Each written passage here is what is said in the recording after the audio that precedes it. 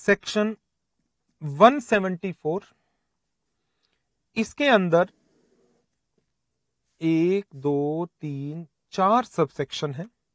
One, two, three, and four.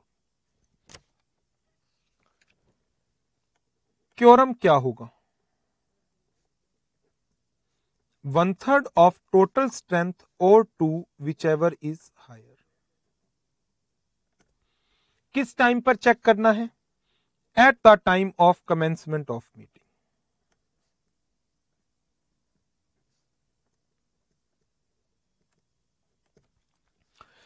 यदि commencement of meeting के time पर क्योरम प्रेजेंट नहीं है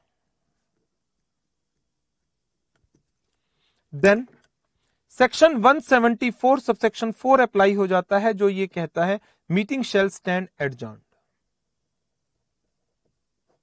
next week same day same time same place unless articles provide otherwise provided it is not a national holiday if it is a national holiday then the next succeeding day article other provision दे सकता है।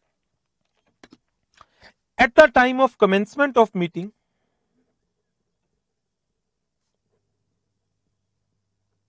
quorum present है। यदि at the time of commencement of meeting quorum present है तो आप, आपको आगे चलना है। क्या किसी भी एजेंडा आइटम पर इंटरेस्टेड डायरेक्टर इक्वल टू और greater than two third of total strength है? जवाब है नहीं। ओके। क्योरम रहेगा वही one third of total strength और to whichever is higher लेकिन, जवाब है यस यस तो क्या होगा? Section 174 sub section three picture में आ जाएगा और ये कहेगा disinterested director not less than two will form the फिर इसके अलावा सेक्शन 174 सब सेक्शन टू इसने हमें एक प्रोविज़न दिया और कहा notwithstanding any vacancy in the board यदि बोर्ड में कोई वैकेंसी भी है, कोई बात नहीं, छोड़ो उसको।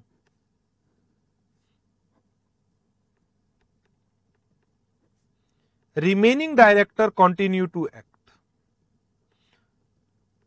जब तक क्योरम प्रेजेंट है।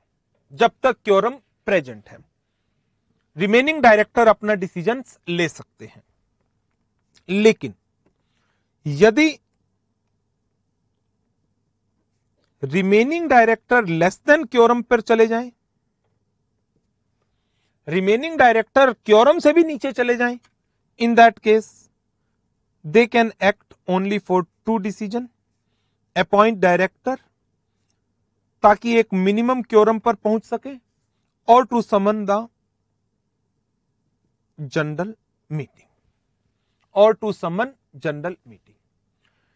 इसके अलावा एक छोटा सा प्रोविज़न जो हमने और पढ़ा, वो था सेक्शन एट कंपनीज़ में। जो क्योरम है, वो है लोअर ऑफ़ एट डायरेक्टर और 25 percent of total strength. Eight और 25 percent of total strength, provided 13792 की कंप्लायंस हुई है ये था हमारा सेक्शन 174 अब कर लेते हैं इनके क्वेश्चंस को डिस्कस